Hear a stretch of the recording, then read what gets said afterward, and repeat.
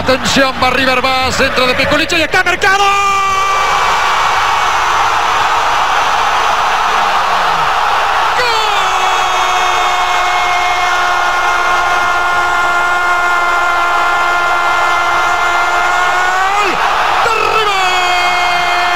fórmula no falla nunca, señores.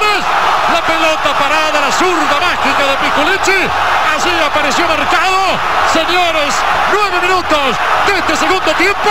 Rompe River con pelota parada. River 1, Atlético Nacional 0. Mercado lo hizo. Qué reaparición la de Mercado. Hombres altos tiene el equipo colombiano. Pero gana con facilidad Mercado.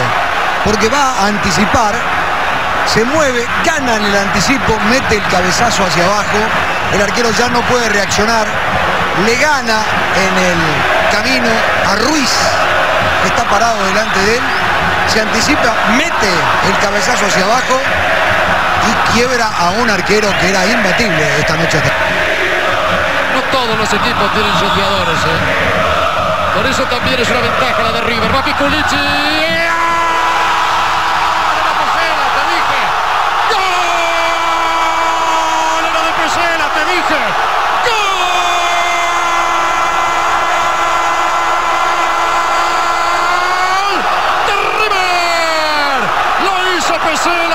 Señoras y señores. Los mejores goleadores de River son los defensores. No solo hoy, siempre, señores. River gana. Lo hizo Pesela. Este chico al banco no. River 2, Atlético Nacional 0, Pesela lo hizo. Sí, abracen a Pesela, abracen a Mercado, pero señores, aquí hay una figura excluyente del partido. Pisculici es sensacional pegándole a la pelota, porque le da con pelota en movimiento con una precisión increíble. Y si le pones la pelota quieta, la tira con Bada donde quiera. Con una precisión admirable. Encuentra la cabeza del defensor de River que va a cabecear ante muchachos colombianos que se quedaron agachaditos, tímidos.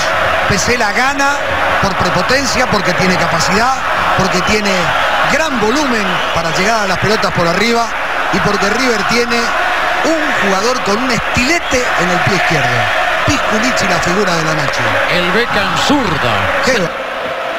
Marcelo Gajardo, esse cara merece. É muito difícil, né?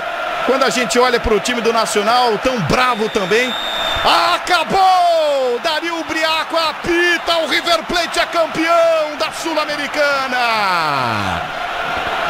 Pela mãe do Galhardo. Por mais de 60 mil torcedores que gritaram, que apoiaram desde o primeiro minuto. O time quebra um jejum de 17 anos e volta a ser campeão internacional.